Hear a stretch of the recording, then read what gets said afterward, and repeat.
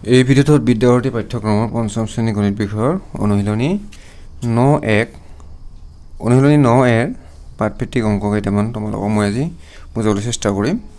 আমি আগৰ ভিডিঅ'টোত এক নম্বৰৰ যিকেইটা অংক আছে সেইকেইটা শিকিছোঁ। এতিয়া দুই নম্বৰৰ পৰা আৰম্ভ কৰিম। দুই নম্বৰ দি আছে একক পৰিৱৰ্তন কৰা। আমাৰ দৈৰ্ঘ্যৰ একক সাতটা পাওঁ। তাৰে মিলিমিটাৰৰ পৰা কিলোমিটাৰলৈকে সাতটা পাওঁ আমি। আৰু সেই এককবোৰৰ তোমালোকে পৰিৱৰ্তন কৰিব দিছে। ইয়াতে দিয়া আছে এ নম্বৰত কি দিয়া আছে? সাতাইছ মিটাৰ মই সংক্ষেপত লিখিছোঁ এককবোৰ আৰু বাৱন্ন মিলিমিটাৰ। এইটো কিহত নিব দিছে মিলিমিটাৰলৈ নিব দিছে এতিয়া মিটাৰৰ পৰা মিলিমিটাৰলৈ লৈ গ'লে আমি কেনেকৈ কৰিব লাগিব? যিহেতু মিটাৰৰ পৰা মিলিমিটাৰলৈ লৈ গ'লে আমি সৰু এককত লৈ যাম গতিকে পূৰণ হ'ব। এতিয়া কিমান? মিলিমিটাৰে এক মিটাৰ সেইটো আমি জানিব লাগিব। এতিয়া একটা এটা দহ দুটা দহ তিনিটা দহ পাওঁ আমি। গতিকে এহেজাৰ মিলিমিটাৰে এক মিটাৰ। গতিকে সাতাইছটোৰ লগত আমি এহেজাৰ পূৰণ কৰিম। আৰু যিহেতু বাৱন্নটো মিলিমিটাৰে আছে এইটো আমি যোগ কৰি দিম। কথাটো বুজি পাইছা? এতিয়া সাতাইছ হাজাৰ বাৱন্ন মিলি মিটাৰ চৰি এইটো মিটাৰ হ'ব। সাতাইছ হাজাৰ বাৱন্ন মিলি মিটাৰ এইটো। তাৰপিছত বি নম্বৰ দিয়া আছে। বি নম্বৰটো চাবা। বাসত্তৰ ডেকামিটাৰ আৰু সাত মিটাৰক ডেচিমিটাৰলৈ। বাসত্তৰ ডেকামিটাৰ আছে। ডেকামিটাৰ আৰু সাত মিটাৰ আছে এইটো আমি ডেচিমিটাৰলৈ লৈ যাব লাগে। এতিয়া ডেকামিটাৰৰ পৰা ডেচিমিটাৰলৈ লৈ আনিলে আমি সৰু একত লৈ আহিম গতিকে পূৰণ হ'ব। কিমান পূৰণ হ'ব? যিহেতু দহ ডেচিমিটাৰে এক মিটাৰ আৰু দহ মিটাৰে এক ডেকামিটাৰ তাৰমানে আমি দুটা দহ পাওঁ গতিকে এশৰে পূৰণ কৰিব লাগিব। ডেকামিটাৰক এশৰে পূৰণ কৰিলে আমি ডেচিমিটাৰ পাম। আৰু মিটাৰটোক দহেৰে পূৰণ কৰিলে আমি ডেচিমিটাৰ পাম। কাৰণ দহ ডেচিমিটাৰে এক মিটাৰ এইটো আমি দহ পূৰণ কৰিম। ডেচিমিটাৰ পূৰণ কৰিছোঁ। এইটোও পূৰণ কৰিছোঁ। এতিয়া সাত হাজাৰ দুইশ সত্তৰ ডেচিমিটাৰ এইটো। এটা কথা মনত ৰাখিব লাগিব তোমালোকে যে কি এককত আছে সংখ্যাটো আৰু কি এককত লৈ যাব লাগে। সেইখিনি হৈছে তোমালোকৰ মেইন বিষয়বস্তু। এতিয়া চি নম্বৰটো দিয়া আছে দুই দশমিক আঠ পাঁচ কিমি কিলোমিটাৰ পৰা মিটাৰলৈ লৈ যাব লাগে। এতিয়া কিমান মিটাৰে এক কিলোমিটাৰ আমি জানিব লাগিব? আমি জানো যে এহেজাৰ মিটাৰে এক কিলোমিটাৰ। গতিকে এহেজাৰেৰে পূৰণ দিছোঁ আৰু এইটো আমি মিটাৰত লিখিম। এতিয়া এহেজাৰৰ তিনিটা শূন্য আছে গতিকে তিনিটাশৰ পিছত যাব দশমিকটো তাৰমানে কি হ'ব? দুটাশৰ পিছত আহিলে ইয়াত আহিব দশমিকটো তাৰমানে আমি আৰু এটা শূন্য দিব লাগিব ইমান মিটাৰ হ'ব। এইটো মই গোটেইকেইটা কৰি দিছোঁ ইয়াৰে।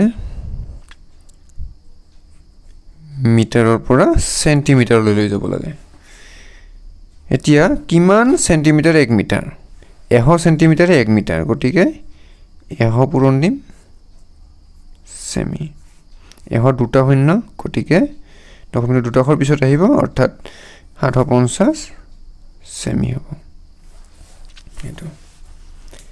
তাৰপিছত দিয়া আছে ই নম্বৰটো পঞ্চাছ কিমি আৰু বিছ মিটাৰ আছে। এইটো কিহত লৈ যাব লাগে? চেণ্টিমিটাৰত লৈ যাব লাগে। এতিয়া কিলোমিটাৰৰ পৰা চেণ্টিমিটাৰত লৈ আহিলে কি কৰিব লাগিব? যে কিমান চেণ্টিমিটাৰে এক কিলোমিটাৰ? আমি কেইটা দহ পাওঁ চাবা? ইয়াতে ইয়াতে আনিলে এটা দহ দুটা দহ তিনিটা দহ চাৰিটা দহ পাঁচটা দহ অৰ্থাৎ এক লাখ। পাঁচটা দহ পূৰণ কৰিলে কি হয়? এক লাখ। পঞ্চাছৰ লগত এক লাখ পূৰণ কৰিলে আমি চেণ্টিমিটাৰ পাম কিলোমিটাৰৰ পৰা চেণ্টিমিটাৰলৈ লৈ আহিলে কি কৰিব লাগে? এক লাখেৰে পূৰণ কৰিব লাগে।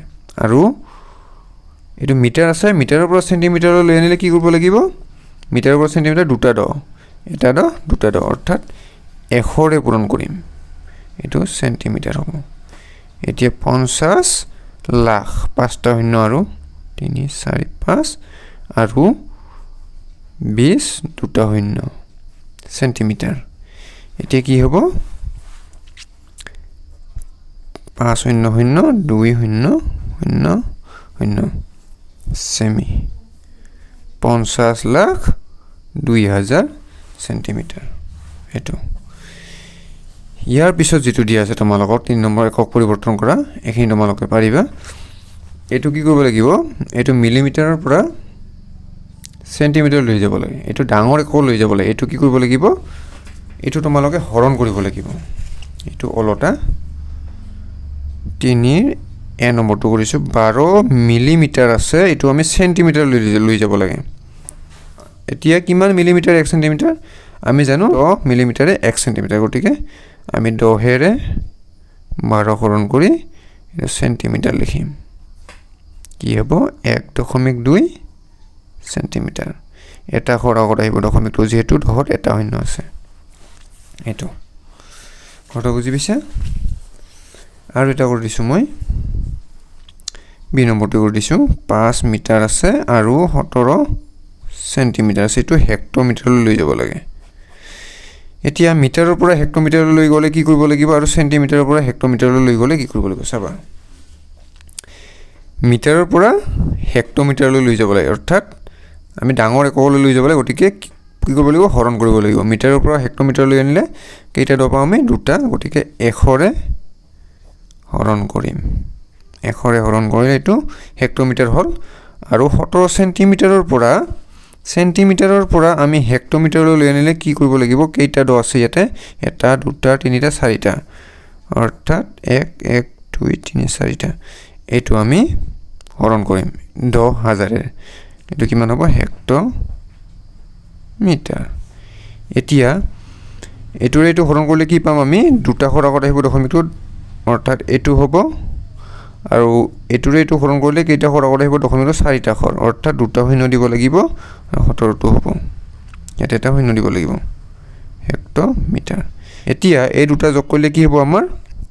দশমিকৰ তলত দশমিক আগত এটা শূন্য পিছত শূন্য শূন্য শূন্য আৰু এনেকৈ যোগ কৰিলে কি পাবা তোমালোকে সাতটো লিখিব লাগিব একটো লিখিব লাগিব তাৰপিছত পাঁচটো। এইটো কেনেকৈ কৰিলোঁ চাবা? শূন্য দশমিক শূন্য পাঁচ শূন্য শূন্য এক সাত। এইটো যোগ কৰিলে কি হ'ব? সাত এক পাঁচ শূন্য দশমিক শূন্য।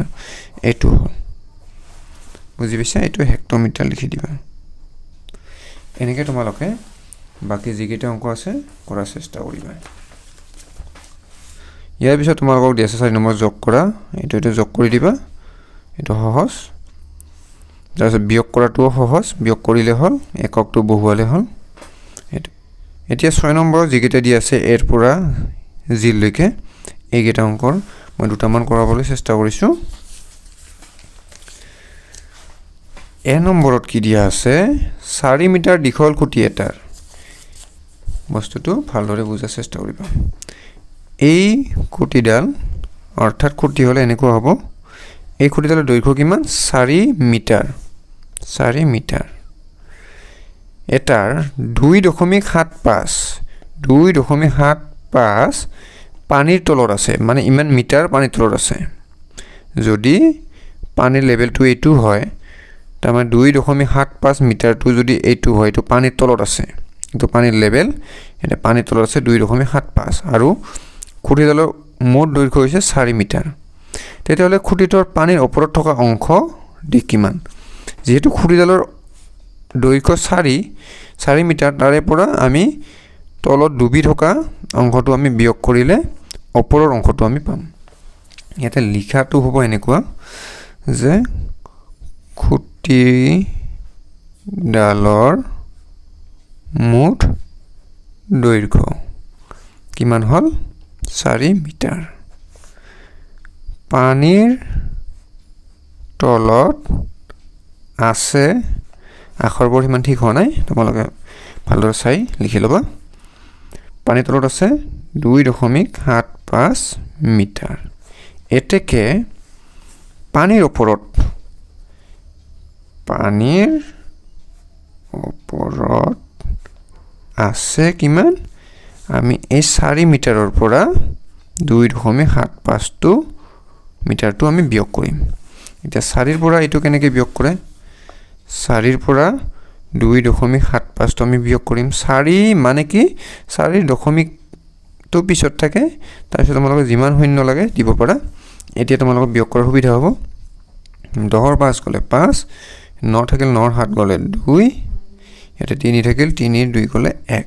এক মিটাৰ পঁচিছ চেণ্টিমিটাৰ অৰ্থাৎ এক দশমিক দুই পাঁচ মিটাৰ এইটো পানীৰ ওপৰত থাকিল এইটো হ'ব উত্তৰটো হৈছে তাৰপিছত মই বি নম্বৰটো তোমালোকক বুজাই দিয়াৰ চেষ্টা কৰিছোঁ। তোমালোকে অংকটো লিখাটো তোমালোকে নিজে কৰাৰ চেষ্টা কৰিবা। লিখাটো তোমালোকে নিজে লিখিবা। বি নম্বৰটো গুৱাহাটীৰ পৰা নলবাৰীৰ মুঠ পথৰ দৈৰ্ঘ্য। এইটো গুৱাহাটী যদি হয় তাৰ পৰা নলবাৰী এইটো এন নলবাৰী। এই ৰাস্তাটোৰ দৈৰ্ঘ্য কিমান? Seventy five kilometre. কথাটো ভালদৰে মনত ৰাখিবা। গুৱাহাটী অৰ্থাৎ যি গুৱাহাটীৰ পৰা নলবাৰীলৈ দৈৰ্ঘ্য কিমান? পঁয়সত্তৰ কিলোমিটাৰ। তাৰে তিনি কিলোমিটাৰ পঞ্চাছ মিটাৰ চাইকেলৰে। অৰ্থাৎ এইখিনিৰ পৰা এইখিনি তিনি কিলোমিটাৰ আৰু পঞ্চাছ মিটাৰ। এইটো চাইকেলৰে গ'লা। আৰু দুই কিলোমিটাৰ পঁয়সত্তৰ মিটাৰ খোজকাঢ়ি গ'লা। দুই কিলোমিটাৰ পঁয়সত্তৰ মিটাৰ। দুই কিলোমিটাৰ এইটো কিমি আৰু পঁয়সত্তৰ মিটাৰ এইটো তোমালোকে খোজকাঢ়ি গ'লা। বাকী অংশ বাছৰে গ'লা। আৰু যিখিনি আছিল দূৰত্ব সেইখিনি বাছৰে গ'লা। তেতিয়াহ'লে বাছৰে যোৱা দূৰত্ব কিমান?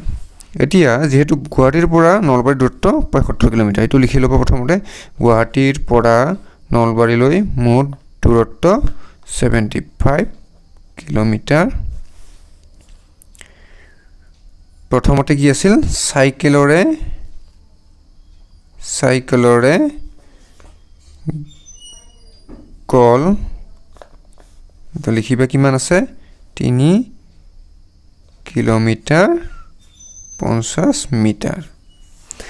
আৰু খোজকাঢ়ি গ'ল কিমান? দুই কিলোমিটাৰ ছেভেণ্টি ফাইভ মিটাৰ। তেতিয়াহ'লে চাইকেল আৰু খোজকাঢ়ি গ'ল এইটো আমি উলিয়াব লাগিব। চাইকেল আৰু খোজকাঢ়ি গ'ল কিমান? তিনি কিলোমিটাৰ পঞ্চাছ মিটাৰ আৰু কিমান আছে দুই কিলোমিটাৰ পঁয়সত্তৰ মিটাৰ। এইটো যোগ কৰিলে হ'ল কিমান হ'ল? পাঁচ তাৰপাছত বাৰ ইমান মিটাৰ পাঁচ কিলোমিটাৰ। অৰ্থাৎ পাঁচ কিলোমিটাৰ এশ পঁচিছ মিটাৰ চাইকেল আৰু খোজকাঢ়ি গ'ল।